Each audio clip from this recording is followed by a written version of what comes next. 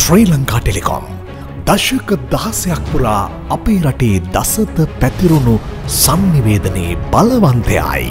ලෝකෙම දවසින් දවස වේගවත් වෙද්දී තත්පරයට මෙගාබිට් සීයක අධිවේගී ෆයිබ පහසුකම ශ්‍රී ලංකා ටෙලිකොම් සමාගම විසින් ශ්‍රී ලංකාවට ප්‍රථම වරට හඳුන්වා දෙද්දී. යුග පෙරලියක අවශ්‍යතාවය දැනෙන්නට වුණා. වේගය ලෝබැඳ යන ලාංකය තරුණ සමාජයට ගැලපෙන පරිදි තම අධිවේගය හය ගුණයකින් වැඩිවෙද්දී. ස්පීඩප් නමින් නව ප්‍රවර්ධන සංකල්පයක් රටට හඳුන්වා දෙන්නට ශ්‍රී ලංකා ටෙලිකොම් සමාගම පියවර ගත්තා.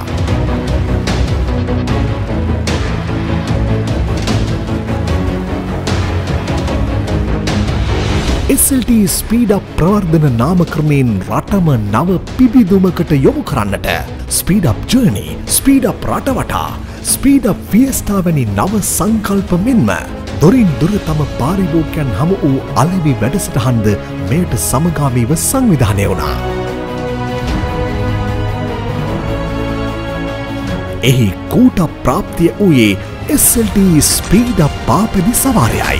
ශ්‍රී ලංකා පාපැදි තරඟ ඉතිහාසයේ ප්‍රථම සහ එකම අති දැවන්තම අත්දැකීම බවට එය පත් වූයේ මෙරට පාපැදි තරඟකරුවන්ට අමතක නොවන අත්දකීම් රැසක් තිලින කරමින්. එම අභිමානය සමඟ නව තාක්ෂණයේ බලමහිමය රටට පෙන්වීමට ශ්‍රී ලංකා ටෙලිකොම් සමාගම නැවතත් සූදානම්. දකුණු ආසියාවේ පදක්කම් ලැබූ අපි ආසියාවේ වේගවත්ම ධාවකයා බිහි කරන්නට සැරසෙමු. මේ ඒ වෙනුවෙන් ඔබේ යුතුකමේ මොහොතයි.